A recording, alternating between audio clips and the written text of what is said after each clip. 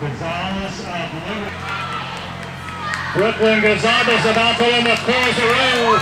She'll be winning right at 17 Coming off a season PR, but not a course PR. How are you feeling right now? Um, I'm really happy with my PR for this season because I injured my ankle earlier this season, so I had to take two weeks off, but now I'm back and I'm running pretty strong.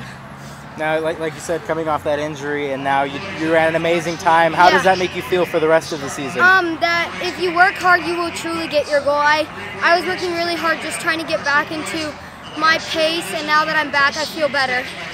what are your some of, What are some of your goals for the rest of the season? Um, I want to make it to finals and possibly state.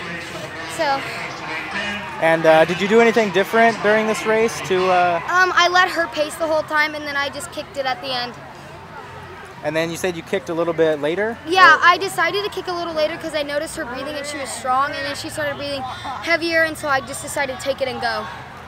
How does the How does this course? Uh, do you Do you like this course? I actually with, love with this with all the course a lot. adrenaline, with all the fans. Yes, yes, Does I love this you? course a lot. Yes, uh, this is one of my favorite courses. I look forward to running this one every year. How come? Um, because one, it's at nighttime, so it's a little bit cooler, and all the all the fans like surrounding you. You feel like you're not alone, except when you're on the street. But even with the street, it's really busy.